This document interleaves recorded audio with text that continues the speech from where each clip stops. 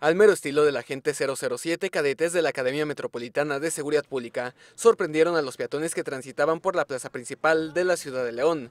Colgados con cuerdas en el edificio aledaño a la presidencia municipal, hicieron gala de su destreza en el rapel.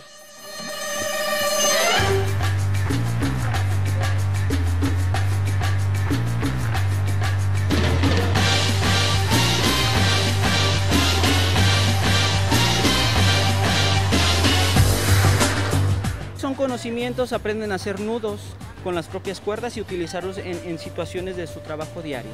Esa es la, importancia de este tipo de clases para que conozcan el equipo, sepan realizarlo y también algo, eh, algo importante, se crea lo que viene siendo el valor, ¿verdad? Para hacer y, y arriesgar la propia vida en dado momento en el trabajo. Este grupo de cadetes se graduará a mediados del presente mes de agosto y realizarían una muestra de preparación a rapel.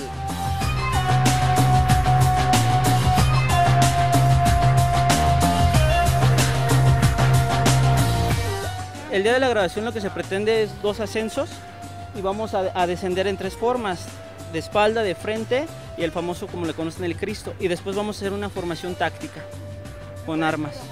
Serán 62 elementos, la mayoría destinados a la policía preventiva, ingresados con el sistema tradicional de 8 meses de preparación en la academia. Ya este, nos llegó la validación ya por escrito, por lo tanto, bueno, ya en agosto estaremos graduando a estos eh, eh, primeros egresados. ¿no? ¿Cuántos serían?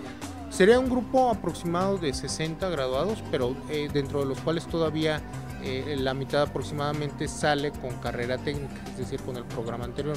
Esta práctica forma parte de la preparación de los cadetes de la Academia Metropolitana de Seguridad Pública, la cual permitirá desarrollar habilidades que les permita actuar en situaciones de emergencia, como lo ocurrió en el Malecón del Río el pasado sábado 23 de julio, cuando un elemento de tránsito improvisó una cuerda para salvar la vida de una mujer.